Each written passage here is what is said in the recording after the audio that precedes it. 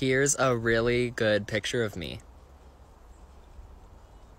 Thank you for listening. That is all.